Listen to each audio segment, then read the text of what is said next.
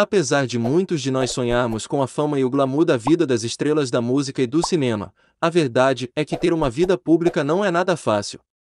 Existem casos em que simplesmente o artista se cansou dos holofotes e quis buscar algo mais tranquilo para si. E os casos em que famosos fazem muito sucesso na TV, mas com o tempo perdem o destaque desaparecendo e como consequência disso, eles tendem a buscar empregos comuns. Separamos 10 famosos que hoje se afastaram das telinhas e buscaram novas oportunidades. Número 1.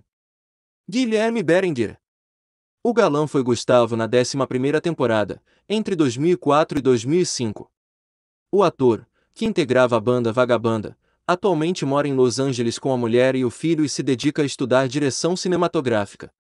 Número 2. Debla Granha.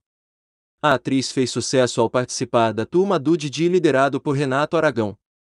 Seu último trabalho na Travessa foi em 2019 em um reality onde era participante. Hoje em dia Deb é veterinária. Número 3. Ana Paula Arósio. A atriz teve grande carreira em várias novelas, porém Ana Paula decidiu se afastar das telas para viver uma vida tranquila. Ela está morando no interior e cuida de cavalos. Número 4. Alexandre Rodrigues.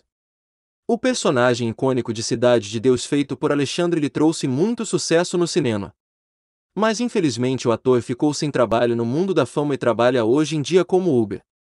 Número 5. David Lucas. Ele fez sucesso atuado em papéis mirins, mas atualmente o ex-ator trocou de profissão.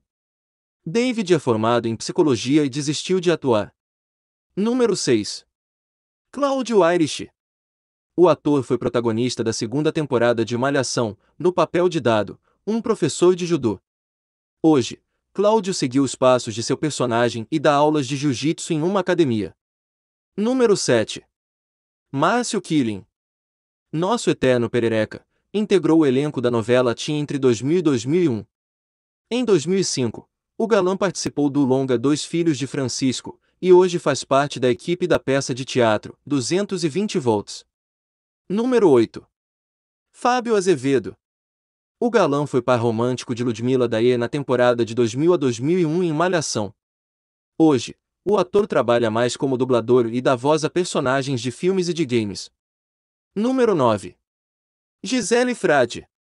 A musa que viveu a Drica na temporada de Malhação, em 2002, se dedica à carreira de DJ e aos cuidados dos três filhos. Número 10. Serginho Ondjakov. Fez sucesso durante oito anos como cabeção, em Malhação. O ator saiu dos holofotes, deixou a barba crescer e engordou, mas logo depois recuperou a forma e foi convidado a apresentar o vídeo show, porém a parceria não seguiu adiante. Antes, Sérgio formou uma dupla de funk e participou do reality A Fazenda.